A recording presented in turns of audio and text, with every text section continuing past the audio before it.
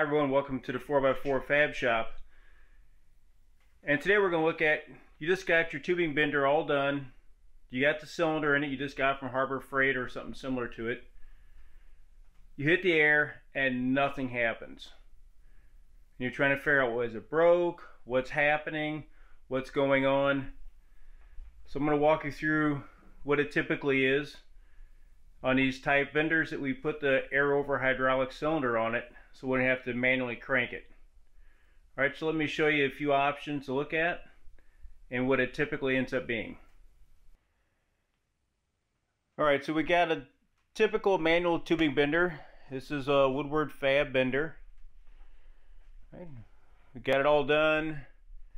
Got the swag mount all welded up. You've probably seen the video on the channel.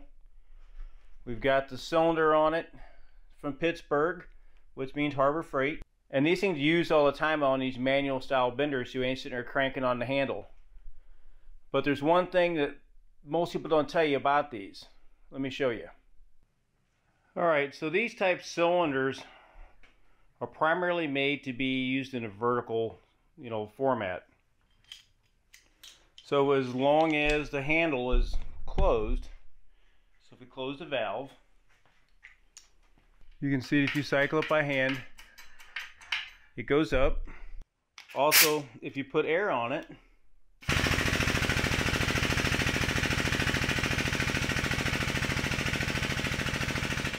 it works also.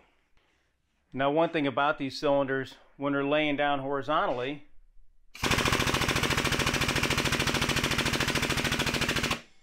you notice it doesn't work. One of the key points of these are which side your pump is on, right? So on this side, obviously, we have nothing. Okay, so if you just turn it over, where the pump section is on the bottom, you get some motion out of it. Alright, so I put the cylinder back in the bender and it's fairly horizontal. I'm going to show you how far it can bend in this configuration. Alright, so we put a piece of pipe in it because there's no load on it, it's hard to tell if it's actually working right. So we're just going to take a little of the pressure off.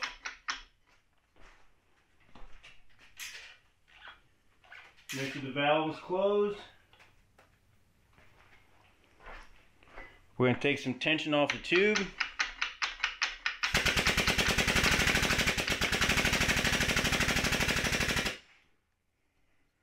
Okay, so we're there. We're going to set zero on our gauge. And let's see how far we can bend.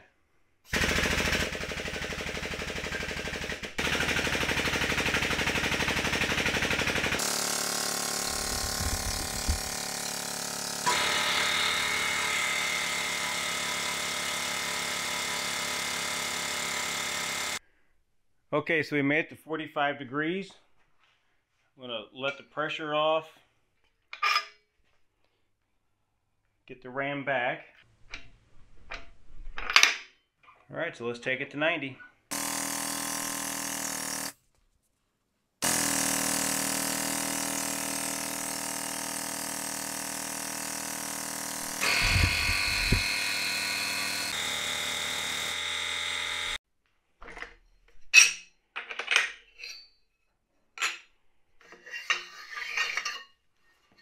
And one bent tube.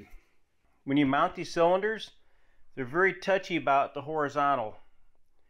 You got to be horizontal or a little bit past. Typically, you got to roll these under just a little bit so that the oil gets to them. Now, this one, we did add a little more oil.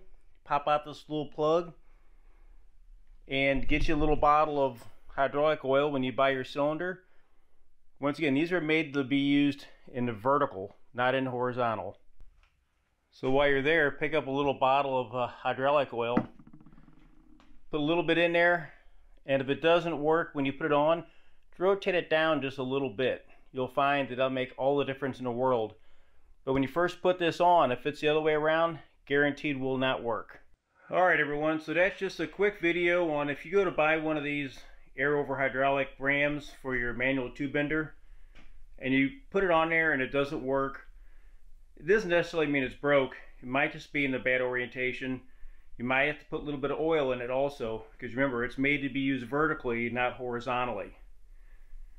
Alright, and also while you're in here, check out the build for that swag mount that we did for the for the bender. Alright, so if you like this content, please keep an eye for more to come on this channel. Please remember to like, subscribe, and share. It's a newer channel, so we need subscribers. Until then, this is 4x4 Fab Shop.